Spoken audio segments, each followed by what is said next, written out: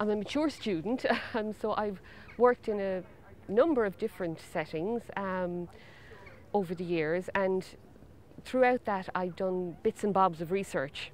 Um, so I, I wanted to come back and to basically learn how to do it properly. Um, so that was one of the main, main motivations why I came back to do it. And also, um, I had worked in, I suppose you could call it the caring professions for a lot of my career. Um, I'd worked as a social worker and in, in lots of different um, areas. I fancied a change, so I thought, you know, coming back to academia would would facilitate that and find it really interesting. I'm loving it really. Um, I found it a, a major challenge getting back into being a student, to sitting down and reading something and understanding it. Um, but I'm, you know, I think I, I have um, I've achieved that. I feel a real sense of achievement that I can do that now and that it's not as much a struggle as it was at the beginning.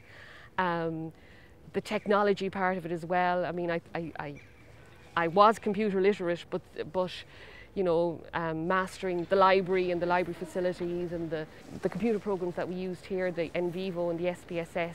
We used the NVivo program in the, the qualitative and we used SPSS in the quantitative and uh, so they, they were major challenges for me, but um, you know, I, I do feel that I've, I've um, upskilled myself, that you know, I have these concrete skills. That was another reason why I chose this particular course because um, while it is very academic and there's a lot of academic work in it, it also has a lot of practical skills. I made a conscious decision to do it over one year, to do it full time.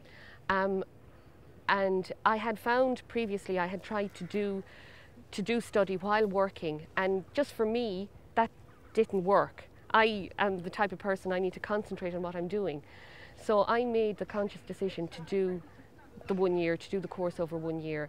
And I'm really glad I did that because it's meant that I can get my teeth into it, you know, to, um, to make a, a genuine effort. And it's given me the space to to read around topics as well. I feel that I have the skills to do work that previously I was I was doing bits and bobs of without you know without really knowing how to do it properly.